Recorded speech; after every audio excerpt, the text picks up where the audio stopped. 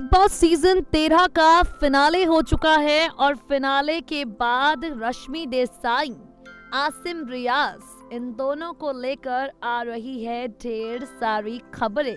जी हाँ big boss के धमाकेदार फिनाले के बाद रश्मि और आसिम तैयार हैं आप लोगों के बीच धमाके करने के लिए।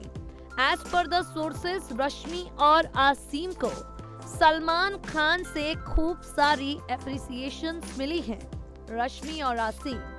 भले ही ट्रॉफी ना जीत पाए हों, लेकिन सलमान खान ने इन्हें बिग बॉस के इतिहास का बेस्ट कंटेस्टेंट बता दिया है, रश्मि और आसिम। इन दोनों को लेकर दबंग खान का कहना है, बिग बॉस के इतिहास के बेस्ट कंटेस्टेंट में से एक हैं, ये दोनों इन दोनों ने जिस तरह से गेम को खेला है, वो काफ़ी ज़्यादा बेहतरीन है।